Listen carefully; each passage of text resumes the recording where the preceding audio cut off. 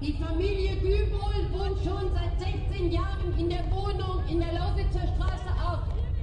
Der neue Eigentümer André Franel erhöhte massiv die Mieten, als er das Haus kaufte, um die Mieter loszuwerden und teurer zu vermieten. Die Familie Gülbull klagte, aber alle Gerichte entschieden gegen die Familie.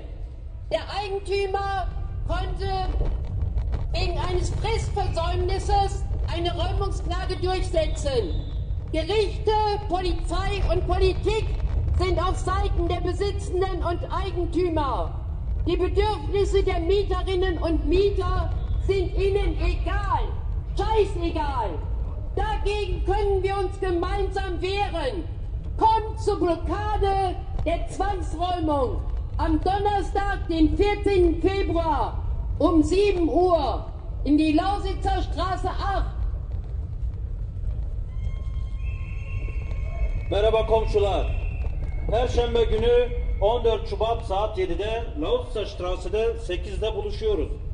16 seneden beri orada yaşayan Gülbol ailesinin desteklemek, desteklemek için aile Gülbol eşi ve 3 çocukları beraber 4 odalı dairede yaşamaktalar. Yeni ev sahibi Andre Franel, Lausitzer Strasse 8'daki binayı açık e, tarımada satın alıp kiracıları evlerinden atıp yeni kira fiyatları kurmak niyetinde. Eski kiracıları evden atmaya çalışıp yeni kiracılara yüksek kira fiyatları talep ediyor. Andre Franel yılmayıp Gülbol ailesini çıkarmaya yasal yolları da elde etmiş bulunmakta.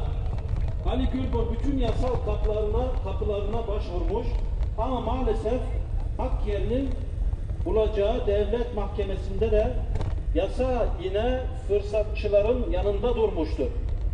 Bu durumda Gülbol ailesinin evleri tahliye edilmesi istenmiştir. Politika mahkemeler ve polisler hep Andre Frenel gibi kapitalistlerin yanındadır.